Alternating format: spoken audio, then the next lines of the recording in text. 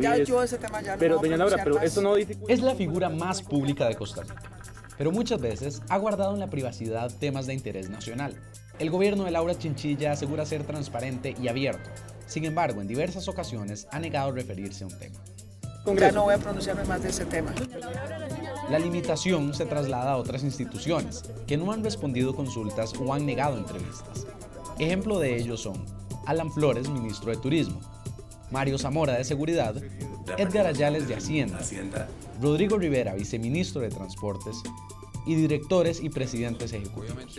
La mandataria no se ha querido referir a temas polémicos como las cartas de recomendación dadas por Luis Lieberman y Leonardo Garnier para la empresa de la esposa del exministro de Hacienda Fernando Herrero, o la salida de funcionarios como el superintendente financiero Francisco Ley y la ex viceministra de Juventud Karina Bolaños, que la acusó de machista y de proteger a funcionarios corruptos. Señores, yo no me voy a referir más a este tema. Creo que ya han habido manifestaciones. el tema de la renuncia de don Francisco Lai. No, no tengo nada que decir. No tengo nada que decir.